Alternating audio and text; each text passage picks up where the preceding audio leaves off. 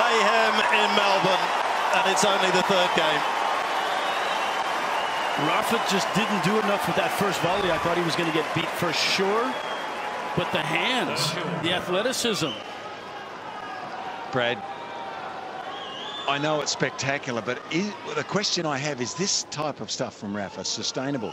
He looked he looked to the edge of the court then with a worried look on his face, even though he's come up with two spectacular points.